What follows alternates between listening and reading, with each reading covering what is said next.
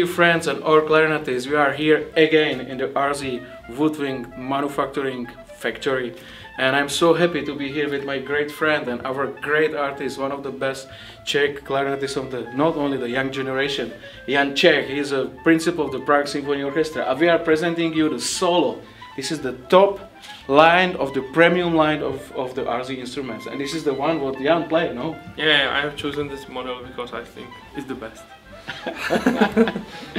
and so what do you like mostly on this clarinet? Uh, I think it's Palisandre holes because then the sound is probably more yeah more more full darker yeah yes. and also what is interesting is engravings on the whole body yeah. on the clarinet so that's the design also. When you are the principal that's all the people they see that it's not only beautiful sound but it's beautiful by the existence. Now we can say the whole design it's it's extra no? Yeah, and how do you feel when you play? What about the intonation and the sound? I think it's all great. From from low register to upper register everything works so, for me.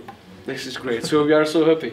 And these are the RZ clarinets, and this is the solo, the top model.